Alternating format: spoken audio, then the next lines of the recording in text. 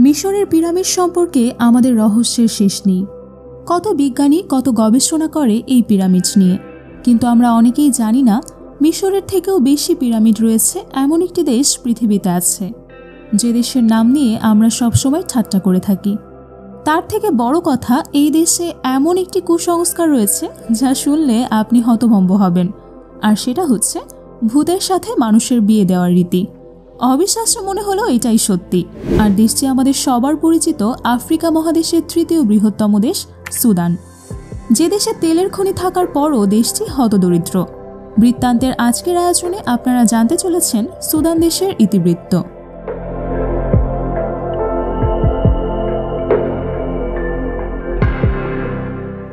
সুদানের সরকারি নাম রিপাবলিক অফ দ্য সুদান।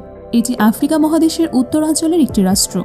দেশটির উত্তরে মিশর, পূর্বে লোহিত সাগরে ইলেট্রিয়া ও ইথিওপিয়া, দক্ষিণে রয়েছে দক্ষিণ সুদান, দক্ষিণ পশ্চিমে মধ্য আফ্রিকা প্রজাতন্ত্র, উত্তর পশ্চিমে লিবিয়া এবং পশ্চিমে সাদ অবস্থিত। সুদান আফ্রিকা মহাদেশের আরও একটি খনিজ সম্পদে ভরপুর দুর্নীতিগ্রস্ত দেশ। বর্তমান আফ্রিকার তৃতীয় বৃহত্তম দেশ এটি। সুদান পৃথিবীর সবচেয়ে অন্তর্দ্বন্দ্ব বহু দেশগুলোর মধ্যে অন্যতম। উনিশশো ছাপ্পান্ন সালে স্বাধীনতা লাভের পর থেকেই সুদান অস্থিতিশীল এর ফলস্বরূপ দুই হাজার এগারো সালে দেশ ভেঙে বের হয়ে যায় দক্ষিণ সুদান। মূলত এরপর থেকেই সুদানের অর্থনৈতিক পরিস্থিতির অবনতি ঘটতে শুরু হয়, কারণ তেলের খনিগুলোর বেশিরভাগেরই অবস্থান ছিল দক্ষিণ সুদানে। আট হাজার বছর আগে এই অঞ্চলে স্থায়ীভাবে মানব বসতি শুরু হয়। সুদানে তখন সবচেয়ে সমৃদ্ধ রাজ্য ছিল কুশতারা। সুদানের দীর্ঘদিন ক্ষমতাসীন থাকে কুশরা। কুশের পর নবিয়ার সাম্রাজ্য শুরু হয়। তাদের সময় থেকেই আরবের মুসলমানরা সুদানে আসতে শুরু করেছে। সুদানে শেষ খ্রিস্টান সাম্রাজ্য ছিল আলে আদিয়াদের। পনেরোশো খ্রিস্টাব্দে এর সমাপ্তি ঘটে। এরপর মুসলমানদের শাসন শুরু হয় দেশটিতে। ওসমানীয়দের শাসন ছিল দীর্ঘকাল আঠারোশো নিরানব্বই সালের এলাকাটি ব্রিটিশদের অধীনে আসে। এরপর সুদান স্বাধীনতা পায় উনিশশো পঁয়ষট্টি সালে। পরবর্তীতে সাংস্কৃতিক, ধর্মীয়, অর্থনৈতিক ও রাজনৈতিক বিভাজন ও মতবিরোধের ফলে দুই হাজার এগারো সালে দক্ষিণ সুদান আলাদাভাবে রাষ্ট্র গঠন করে। আঠারো লাখ ছিয়াশি হাজার আটষট্টি বর্গ কিলোমিটার আয়তনের এই দেশটিতে মোট জনসংখ্যা প্রায় চার কোটি পনেরো লাখ। আয়তনের দিক দিয়ে এটি বিশ্বের পনেরোতম দেশ। সুদানের সরকারি এবং জাতীয় ভাষা আরবি। তবে দেশের বেশিরভাগ মানুষই আরবি ভাষার পরিবর্তিত রূপ সুদানিজ আরবি ভাষায় কথা বলে থাকেন। এছাড়াও দেশটিতে আরও প্রায় সত্তরটি স্থানীয় ভাষা প্রচলিত আছে। ধর্মের ক্ষেত্রে দেশটিতে এককভাবে রাজত্ব ইসলাম ধর্মের। দেশের প্রায় সাতানব্বই শতাংশ মানুষ মুসলিম, বাকিদের মধ্যে এক শতাংশ খ্রিস্টান এবং দুই শতাংশ আফ্রিকান স্থানীয় ধর্মে বিশ্বাসী। খার্তুম সুদানের রাজধানী এবং দেশের বৃহত্তম দ্বিতীয় শহর। বাউন্ন লাখ চুয়াত্তর হাজার জনসংখ্যার এই অঞ্চল সুদানের বৃহত্তম সংখ্যাগরিষ্ঠ শহর। আফ্রিকার ষষ্ঠ বৃহত্তম, উত্তর আফ্রিকার দ্বিতীয় বৃহত্তম এবং আরব বিশ্বের চতুর্থ বৃহত্তম এই শহরটি। শহরটির নীল নদীর দুটি শাখা, সাদা নীল নদ এবং নীল নদীর সংযোগস্থলে অবস্থিত। খার্তুম আঠারোশো একুশ সালে মিশরের অংশ হিসেবে প্রতিষ্ঠিত হয়েছিল। পরবর্তীতে উনিশশো ছাপ্পান্ন সালে স্বাধীন সুদানের রাজধানী ঘোষণা করা হয় খার্তুমকে। তবে শহরটি প্রতিষ্ঠার পর থেকেই বর্তমান সময় পর্যন্ত একটানা অস্থির অবস্থার ভেতর দিয়ে যাচ্ছে। তারপরও এটি বর্তমানে পুরো উত্তর আফ্রিকার অন্যতম অর্থনৈতিক বাণিজ্য কেন্দ্র। দেশটিতে গ্রীষ্মমণ্ডলীয় জলবায়ু বিদ্যমান।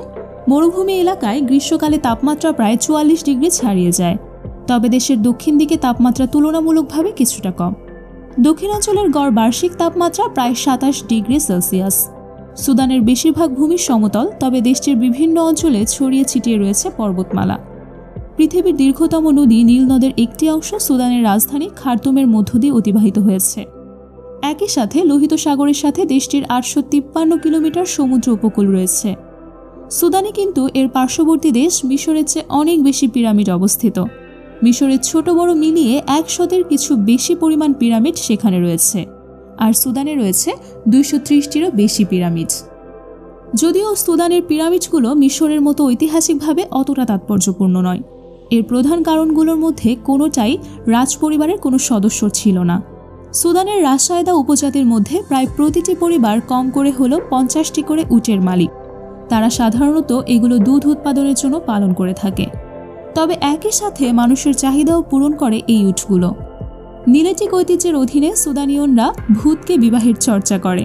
যেমন পরিবারে এক ভাই মারা গেলে সেই পরিবারে যদি বিবাহযোগ্য কোনো ভাই থাকে, তবে মনে করা হয় মৃত ভাইয়ের আত্মা তার মধ্যে চলে এসেছে। এবং সে অনায়াসেই তার সদ্য বিধবা ভাবিকে বিয়ে করতে পারে এবং এরপর তাদের যে সন্তান জন্ম নেবে, সেগুলো তার সেই মৃত ভাইয়ের সন্তান বলে বিবেচিত হবে। কি অদ্ভুত এক বিষয়, তাই না? সুদান এবং দক্ষিণ সুদানের অন্তর্দ্বন্দ্ব আফ্রিকার ইতিহাসের দীর্ঘতম গৃহযুদ্ধ, যা উনিশশো পঞ্চান্ন সাল থেকে উনিশশো বাহাত্তর সাল পর্যন্ত এবং উনিশশো তিরাশি সাল থেকে দুই হাজার পাঁচ সাল পর্যন্ত স্থায়ী ছিল। এই যুদ্ধে প্রায় আড়াই লক্ষ সুদানি নিহত এবং চল্লিশ লাখেরও বেশি গৃহহারা হয়েছিল। এই দেশভাগের ফলে অত্যন্ত খারাপ প্রভাব পড়ে সুদানে। দেশটি এক ঝটকায় তার মোট তেলের মজুদের প্রায় পঁচাত্তর শতাংশই হারিয়ে ফেলে, যেখানে অপরিশোধিত তেল রপ্তানি ছিল দেশটির বৈদেশিক আয়ের মূল উৎস।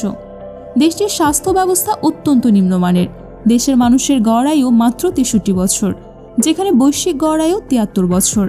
ওইদিকে দেশটির শিক্ষা ব্যবস্থা ততটা উন্নত নয়, যদিও দেশটিতে ছয় থেকে ১৩ বছর বয়স পর্যন্ত শিক্ষা বাধ্যতামূলক। তারপরও দেশে মাত্র সত্তর শতাংশ মানুষ শিক্ষিত। দুই হাজার দশ সালে সুদান সতেরোতম দ্রুত বর্ধনশীল অর্থনৈতিক হিসেবে উঠে এসেছিল।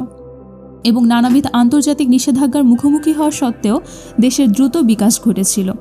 কিন্তু সব উল্টাপাল্টা করে দেয় দুই হাজার এগারো সালের দেশ বিভাজন। সুদান হারায় এর বেশিরভাগ খনিজের খনিগুলো। দেশে মুদ্রাস্ফীতি বাড়তে বাড়তে দুই হাজার পনেরো সালে এসে দাঁড়ায় বাইশ শতাংশে। বর্তমানে এই দেশের প্রায় সাতচল্লিশ শতাংশ মানুষ আন্তর্জাতিক দারিদ্র সীমার নিচে বসবাস করছে। তবে এখনও পর্যন্ত দেশটির আয়ের মূল উৎস অপরিশোধিত তেল রপ্তানি। সুদানের সরকারি মুদ্রা সুদানিশ পাউন্ড। বাংলাদেশের এক টাকায় সুদানের প্রায় চার দশমিক দুই দুই সুদানিস পাউন্ড রয়েছে। দেশটির মোট জিডিপির পরিমাণ প্রায় চৌত্রিশ দশমিক তিন তিন বিলিয়ন মার্কিন ডলার এবং মাথাপিছু আয় প্রায় দুই হাজার তিনশো মার্কিন ডলার। সুদানের ডায়ালিং কোড হচ্ছে দুই চার নয়। আপনি যদি বৃত্তান্তের একজন নতুন দর্শক হয়ে থাকেন, চ্যানেলটি সাবস্ক্রাইব করার পাশাপাশি পাশে থাকা বেল আইকনটিকে বাজিয়ে দিন এবং ভিডিওটি আপনার বন্ধুদের সাথে শেয়ার করে দিন। সেই সাথে ভিডিওটিতে লাইক এবং আপনার মন্তব্য জানাতে ভুলবেন না।